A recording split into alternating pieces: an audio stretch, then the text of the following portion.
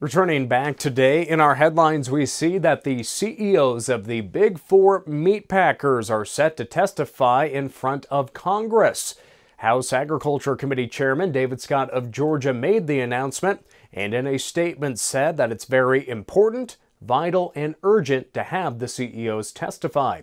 In addition to the testimonies from the CEOs, Congress will convene a panel of ranchers to hear what consolidation the beef industry has done to their bottom lines and viability.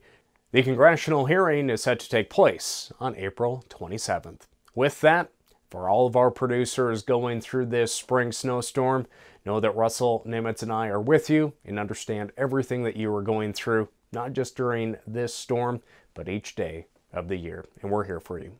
That's today's Farm and Ranch News.